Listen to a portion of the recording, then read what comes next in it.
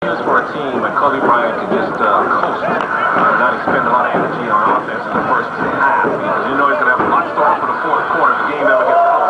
Free, first free throw, good. Second free throw on the way, no good. Trevor Ariza with the rebound. You know, keep in Too mind, a lot of people don't realize that. Williams shuffle pass to Kirilenko right now.